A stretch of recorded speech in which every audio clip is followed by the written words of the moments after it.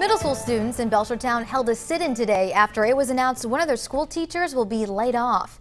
22 News reporter Mike Masciadrelli asked the school superintendent the reason behind the decision.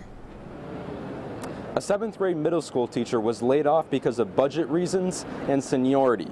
Students at Jabish Brook Middle School in Belchertown held a sit-in today for their teacher. It all started after a position was eliminated at Belchertown High School. The district decided to move that teacher to Jabish Brook Middle School and cut a new teacher there instead. Belchertown Superintendent of Schools Carol Coffin told 22 News the decision wasn't easy. We're not happy about this. We would like to keep her. The students really have appreciated her at the middle school. Unfortunately, um, because of her licensing and when she was hired, she will be the person that is going to be laid off. Superintendent Coffin said a position needed to be eliminated because of a lack of state funding. She said that could lead to more layoffs in the school district in the future.